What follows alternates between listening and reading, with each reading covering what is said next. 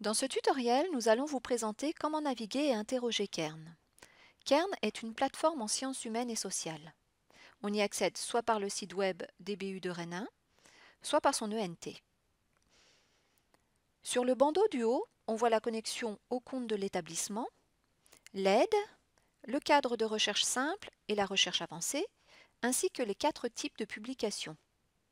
Revues, ouvrages, les collections Que sais-je et repères, et les magazines. On retrouve les 15 disciplines, les dernières publications et les ouvrages les plus consultés. Procédons à un exemple.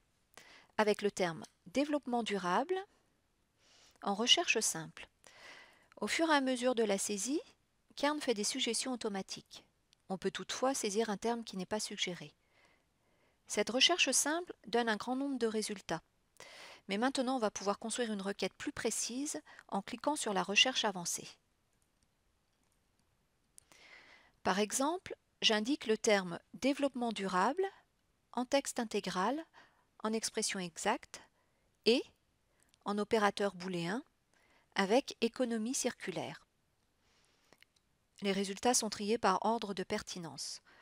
Ce tri par défaut peut être modifié. Ces résultats peuvent être triés et affinés par les filtres sur la droite. Nous affinons la recherche en sélectionnant les revues et les ouvrages sur les années 2017 et 2018. Nous n'avons plus que 66 résultats. Ces filtres peuvent être utilisés aussi bien pour la recherche simple que pour la recherche avancée. Décryptons maintenant un résultat de recherche. On nous propose deux formats, HTML et PDF. Nous vous conseillons d'ouvrir en premier la version HTML qui vous permet d'accéder à des fonctionnalités supplémentaires comme le résumé, le plan de l'article et la citation de l'article. Vous pouvez également, avec Voir aussi, rebondir sur une thématique proche ou sur l'auteur. Sur la gauche, vous accédez à des informations sur la revue. Vous pouvez également créer une alerte mail pour recevoir les sommaires des nouveaux numéros.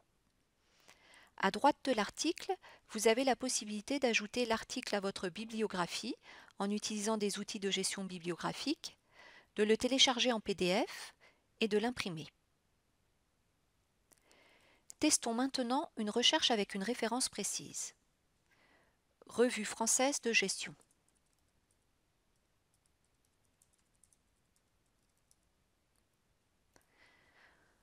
On retrouve les mêmes fonctionnalités que la recherche précédente.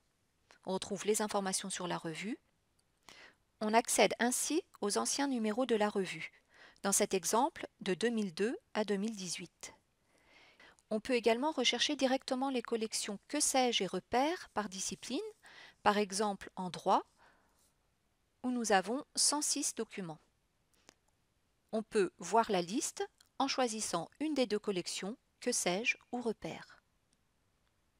Dans ce tutoriel, nous avons vu que Kern était un outil pertinent pour des recherches en sciences humaines et sociales, car il interroge plusieurs sources simultanément. La création d'un compte est souhaitable pour accéder à toutes les fonctionnalités proposées par Kern, accéder à ma bibliographie, mes alertes et mon historique de recherche.